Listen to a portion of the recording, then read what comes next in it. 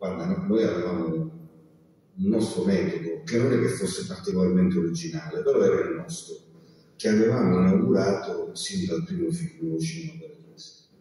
E cioè io gli facevo leggere la sceneggiatura, prima ancora che io girassi il film. In certi casi addirittura già gli raccontavo la storia quando ancora la stavo sceneggiando. E già cominciavamo a parlare. E sulla sceneggiatura trovavamo insieme quali fossero gli elementi della storia ai quali agganciarsi per costruire una partitura musicale.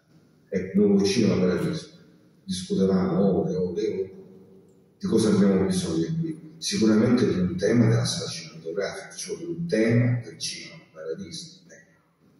Poi ci vuole un tema d'amore, è necessario perché tutto il film è, un tema. Poi ci vuole un tema del, dell'infanzia. Siccome poi questo bambino lo seguiamo finché diventa maturo, egli lo fece diventare il tema dell'infanzia e della maturità. Quindi un tema che a un certo punto si trasforma. Erano tutte, tutte discussioni, se vuoi, astratte, ma che erano pilotate dalla struttura del film.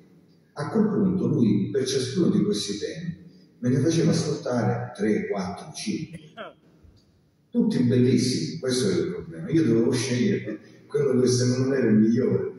Il problema qual era? Che appena io ne sceglievo uno, lui tutti gli altri li strappava e li buttava via.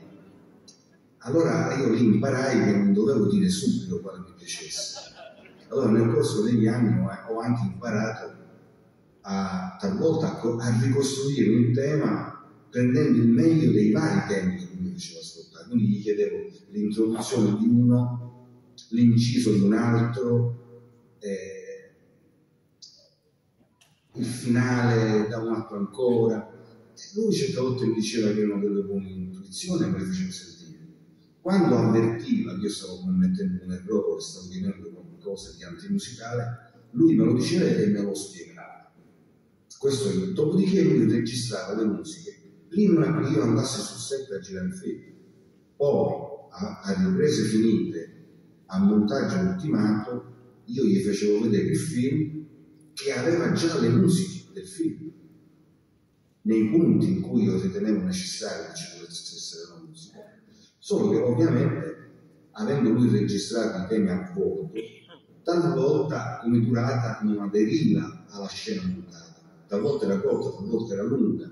Allora lui rimetteva le mani al brano musicale, ovviamente manipolando il tema utilizzato e lo ridisciplinava sulla base anche dei sincroni, della nuova durata e ritornava in sala musica. Quindi è un metodo meraviglioso. Per i produttori non tanto, perché ovviamente era un po' più costoso perché si doveva tornare in sala con l'orchestra più di una volta. Però noi abbiamo sempre fatto così, assolutamente sempre.